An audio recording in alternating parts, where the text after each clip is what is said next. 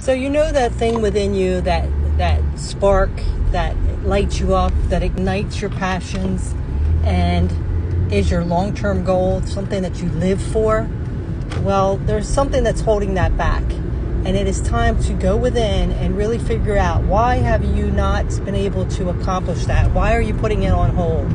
What is keeping you from that spark within, igniting that spark from within? And you really got to go deep within and figure this out. It's time to stop putting your dreams and your desires on hold. Is it from other people trying to rule your life? Is it from fears? Is it from past betrayals?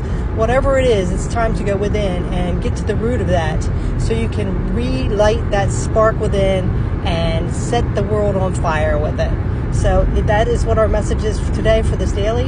And it's time to ignite your flame.